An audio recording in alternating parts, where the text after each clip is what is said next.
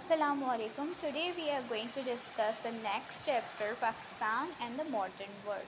It is obvious from the title that in this chapter we will come across a comparison between Pakistan and the modern world.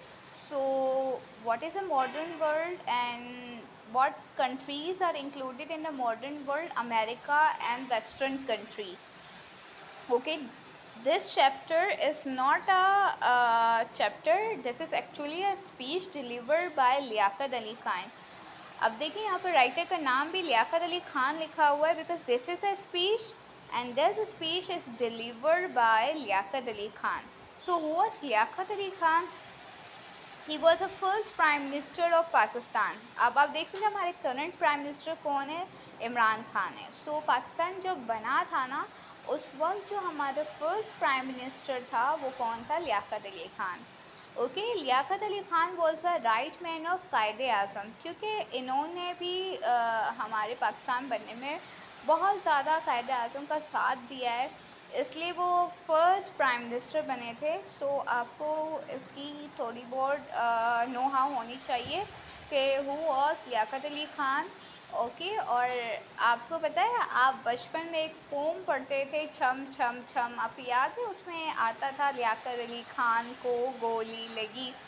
I know this is very funny कि मैं आपको वो pome याद दिला रही हूँ लेकिन उस पोम में आप uh, आपको एक नॉलेज दी जा रही थी। बचपन से ही आपको बताया गया था कि Liaquat Ali Khan was assassinated assassinated क्या होता है? जिसको मारा जाता है। जब पॉलिटिकल फिगर्स को मारा जाता है ना तो हम उसके लिए असैसिनेशन इस्तेमाल करते हैं। जैसे बेनज़ीर बेनज़ीर भुट्टो को मारा गया था तो हम उसको किल्ड नहीं कहेंगे। हम कहेंगे assassinated so Liaquat Ali Khan was assassinated और वो उसी जगह पे असैसिनेशन हुई थी। उनकी जिस जगह पे बेनज़ीर भुट्टो की हुई थी। ओके वो लावड़पिंडी की एक जगह है वहाँ पे दोनों की सेम प्लेस है मरने की।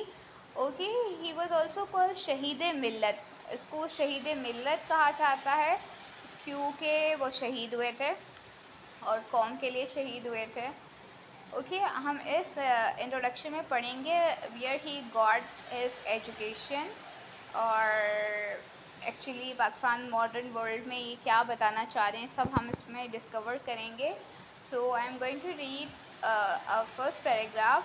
Liaquat Ali Khan was born on first October 1895 आपको ये ईयर और मंथ सब कुछ याद रखना है because it comes in M C Qs and died on the sixteen October 1951 आपको ये देखो ये याद करना बहुत आसान है क्योंकि 1950 ध्यान से सुनना 1950 में स्पीच डिलीवर की गई थी and he was died in 1951 बस एक साल के बाद ही उनकी डेथ हो गई।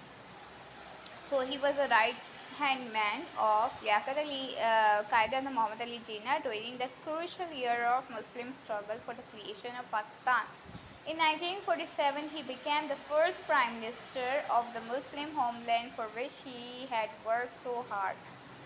A great statement with a deep compassion for the human suffering and fine orator of great statement with the deep compassion for human suffering and fine orator of sincerity and eloquence.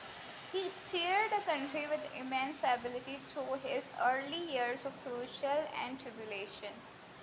Okay ये सब में बता रहे हैं कि वो कब born हुए थे, कब मरे थे और डाइट हैंडमैन थे या कायद अज़म के।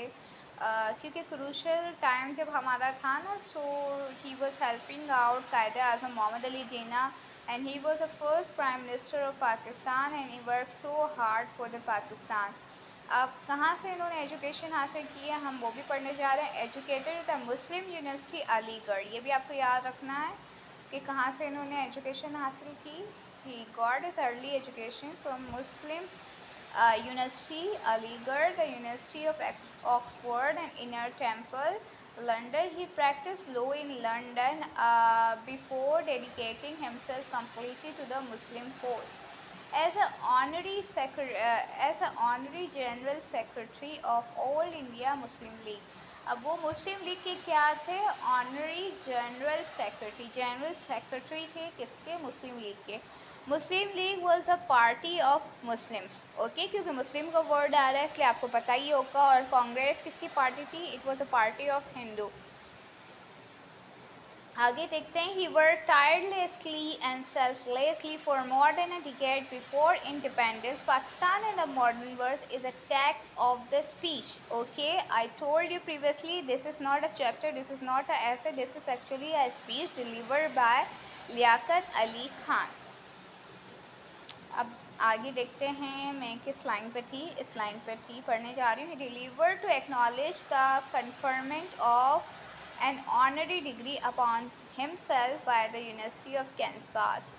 Okay university of Kansas से इसने uh, किसने लियाकत अली ख़ान ने तालीम हासिल की थी? जब हम अपनी एजुकेशन कंप्लीट कर लेते हैं तो हमें डिग्री मिलती है। Okay when he was receiving his degree so उन्हें मौका दिया गया था। He got an opportunity to deliver a speech okay जब वो अपनी डिग्री रिसीव कर रहा था तो उन्हें मौका दिया गया कि वो स्टेज पे आके एक स्पीच डिलीवर करे और पाकिस्तान के बारे में बताएँ।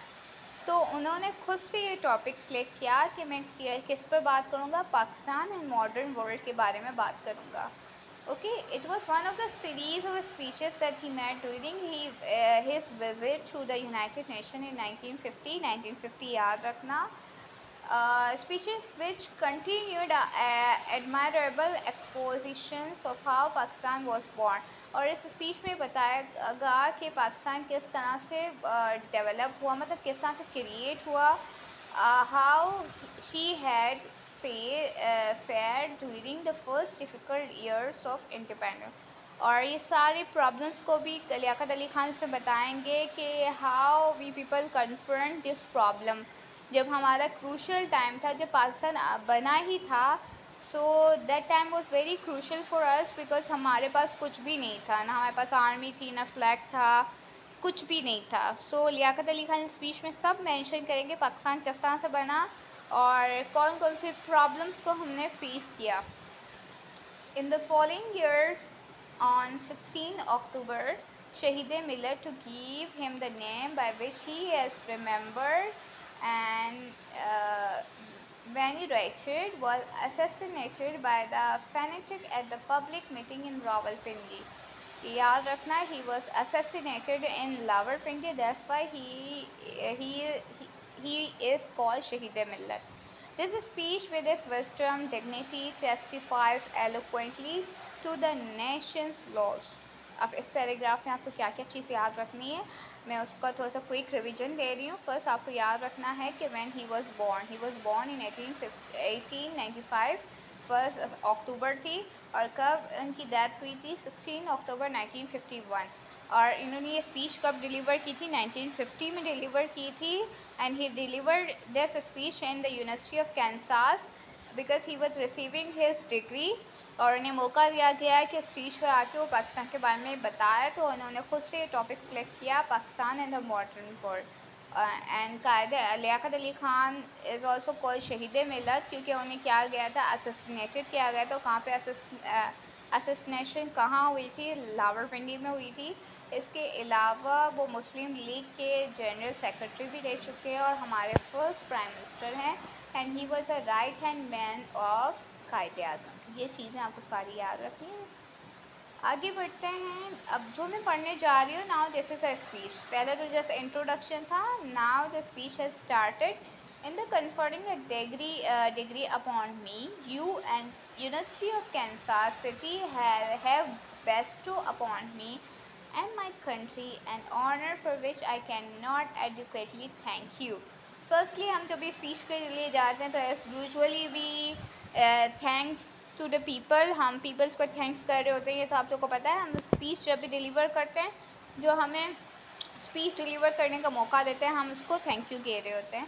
सो यहाँ पर लियाकत अली ख़ान भी यही कर रहे हैं, ये यूनिवर्सिटी ऑफ़ कैंसास का शुक्रिया अदा करना चाह रहे हैं कि उन्होंने उसको मौका दिया कि वो पाकिस्तान के बारे में बताया अब क्या होगा? For my address today I have advisedly chosen the subject of Pakistan and the modern world I have done this for two reason अब यहाँ पे मैंने कहा ना यहाँ पे फॉर पर्पस इन्होंने ये वाला टॉपिक सेलेक्ट किया है Pakistan in the modern world और ये खुद कह रहे हैं I have chosen this for two reason वो दो रीज़न की वजह से इन्होंने ये टॉपिक को सिलेक्ट किया है। वो दो रीज़न क्या हो सकते हैं, हम देखते हैं।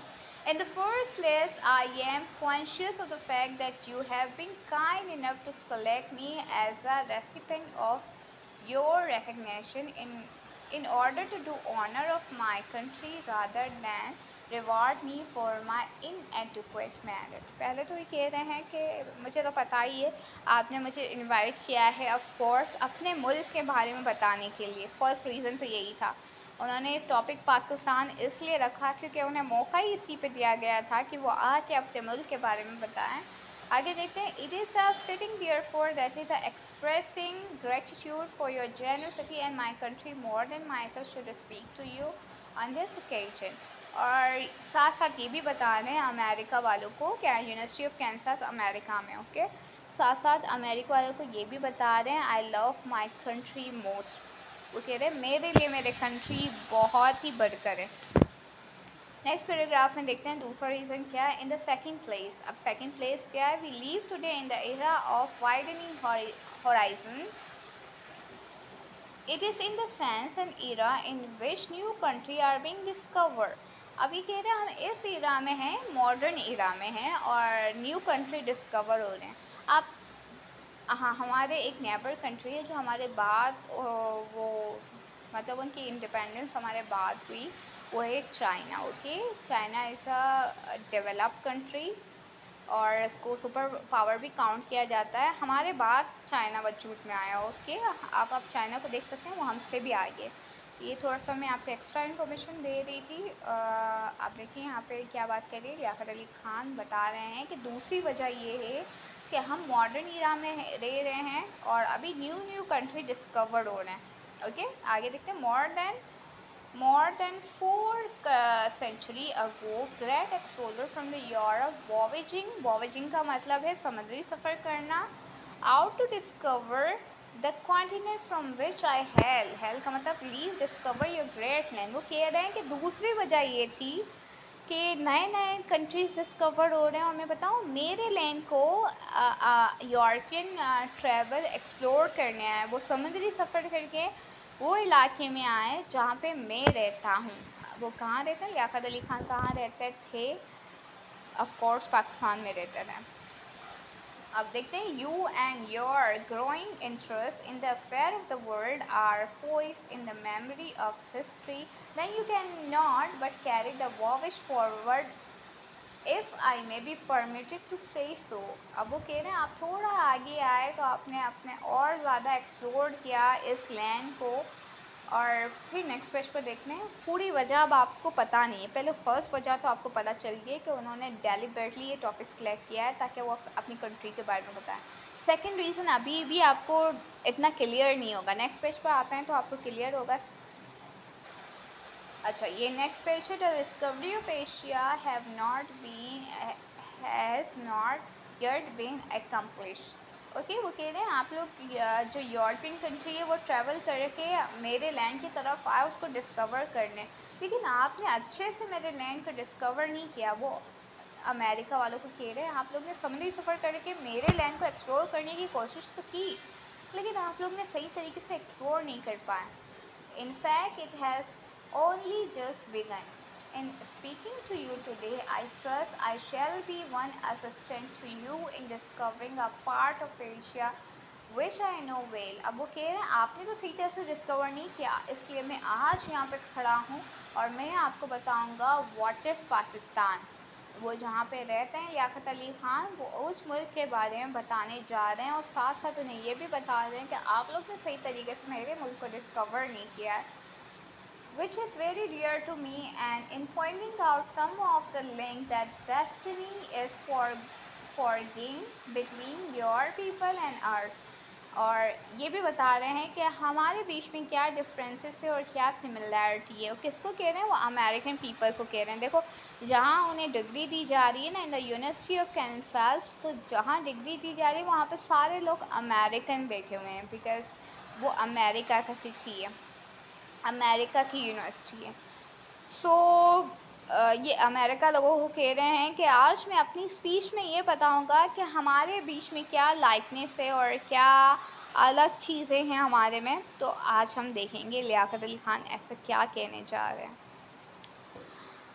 फर्स्टली मैं आपको बता देती हूँ ये थोड़ा सा चैप्टर डिफ़िकल्ट है इसलिए मैं जो जो पैराग्राफ में बातें होने जा रही है उसको पहले से ही बता दूँगी। देखो ये वाला पैराग्राफ जिस पर मैं पॉइंट्स कर रही हूँ, आप देख सकते हैं अपनी वीडियो में। तो इस वाले पैराग्राफ में डेमोक्रेसी की बात हो रही होगी। So what is democracy government for the people by the people and of the people ये भी आपको समझ में नहीं आई होगी डेफिनेशन में क्या बात कर रही हूँ। देखो, इससे पहले वाले चैप्टर में आपने कम्युनिज़्म पढ़ा था। मैंने आपको कहा था कम्युनिज़्म में सारी प्रॉपर्टी सब कुछ ऑनरशिप जो पीपल की होती है, किसके हाथ में चली जाती है? गवर्नमेंट के हाथ में चली जाती है और पीपल फ्री नहीं होते। पीपल कुछ भी नहीं कह सकते। Even you can see in the China corona virus जब उरूज पे था तो सारा सब कुछ बहुत कम्प्लीटली लॉकडाउन हो गया था। इवन गवर्नमेंट उन्हें खाना प्रोवाइड करती थी।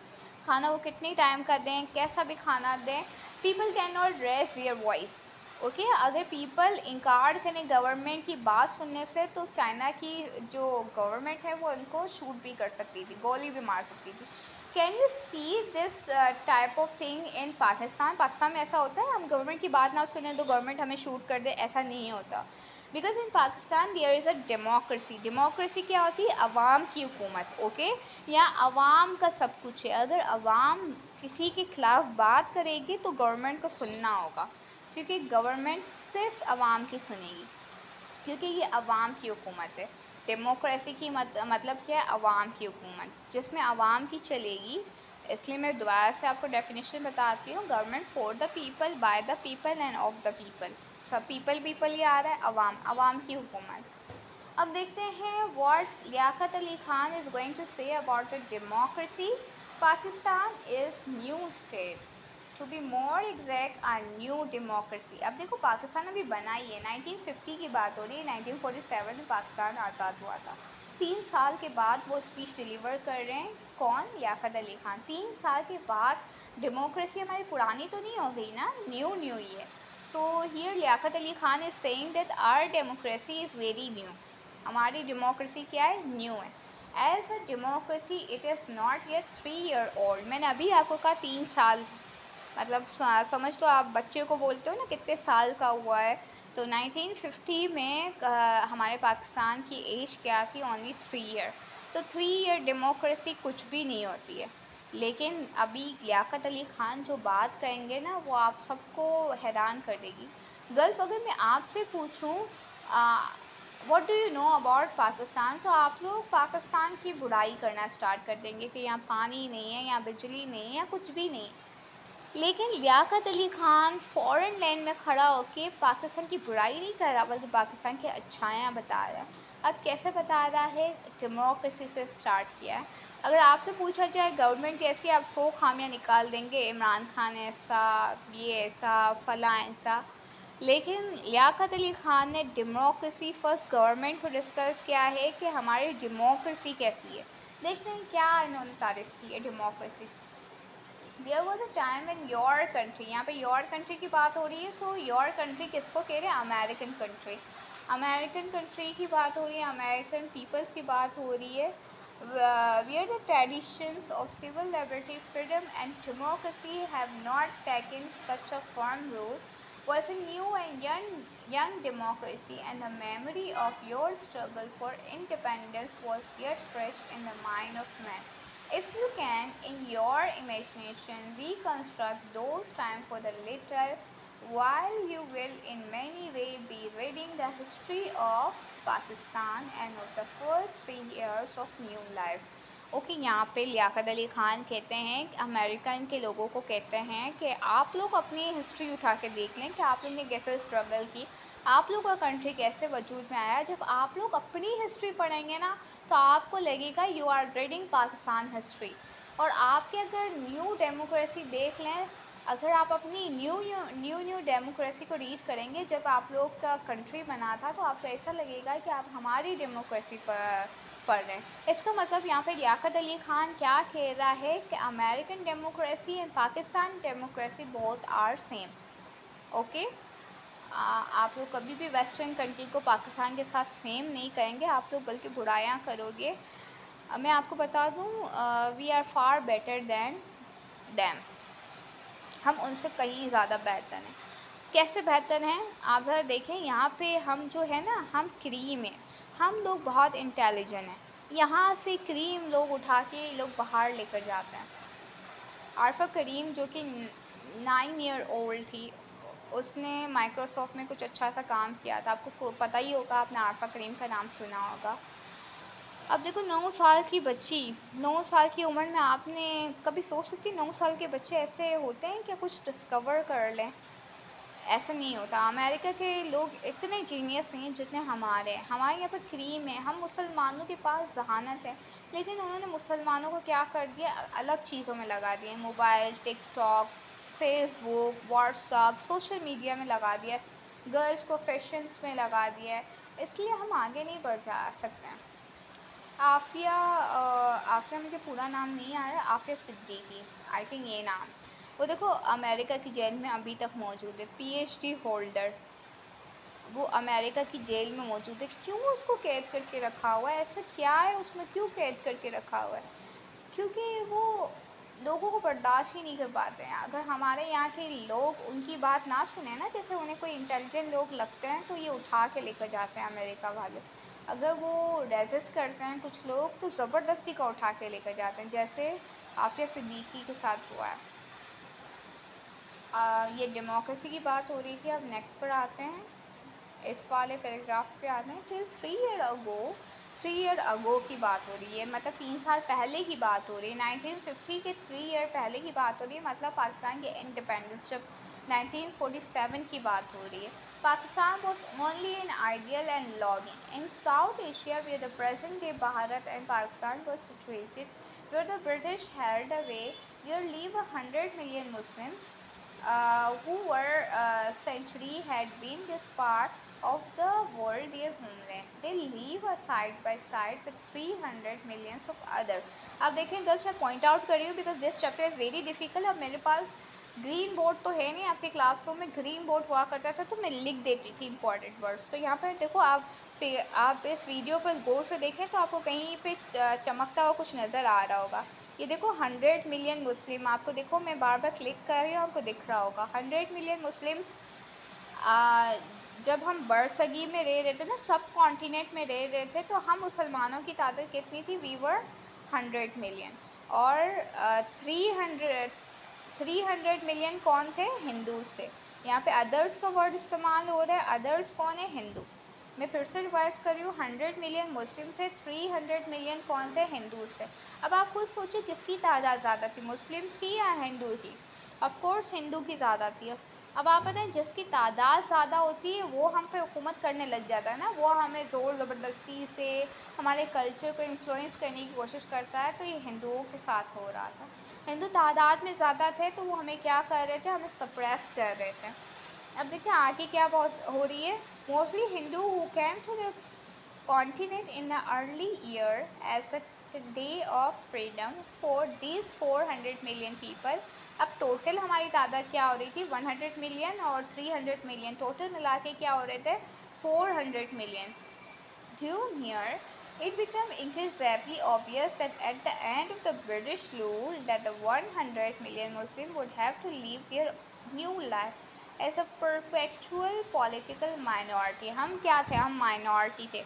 और ये माइनॉरिटी सप्रेस हो रही थी। मतलब हमारे हुकूक, हमारा कल्चर सब कुछ तबाह हो रहा था। सो ब्रिटिश रूल के बाद हमें न्यू लैंड चाहिए था।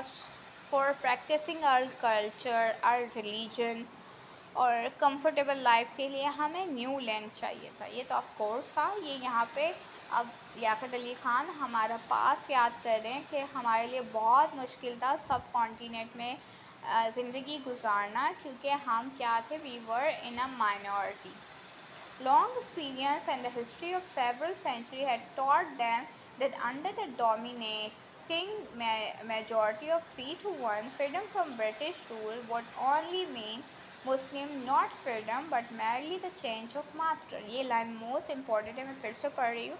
मैं, देखो वीडियो पर आपको बार बार क्लिक कर रही हूँ, आपको दिख भी रहा होगा कौन सी लाइन में रीड कर रही हूँ। पहले मैं इसको समझा देती हूँ, क्या बात हो रही है। देखो, हम सब कॉन्टीनेंट में रह रहे थे we were in a minority इस पैराग्राफ में यही बात करें। मेजॉरिटी में कौन था? हिंदू था। अब हम इन दोनों पर कौन हुकूमत कर रहा था? ब्रिटिशर्स हुकूमत कर रहे थे। अगर दोनों मिलकर ब्रिटिशर्स से जान भी छुड़ा देते, ब्रिटिशर्स चले भी जाते, लेकिन अब भी मुसलमानों पर कौन हुकूमत कर रहा था? कौन मेजॉरिटी में था? हिंदू थे। तो हमारा सिर्फ़ ब्रिटिशर से आज़ादी हासिल नहीं करना था। अगर हम सिर्फ़ ब्रिटिशर से आज़ादी हासिल करते तो हम सिर्फ़ अपने मास्टर को चेंज करते। अब, अभी जो हमारे ब्रिटिशर मास्टर थे, फिर हमारे मास्टर कौन बन जाते? हिंदू बन जाते। तो इस लाइन में यही बात हो रही है। फिर से मैं रिवाइज़ कर रही हूँ ये लाइन कहाँ चली गई? Freedom from British rule would mean to the Muslim not freedom merely the change of master यहाँ तक आप लोग को समझ में आ गया होगा। थोड़ा सा क्विक रिव्यू फिर से दे रही हूँ।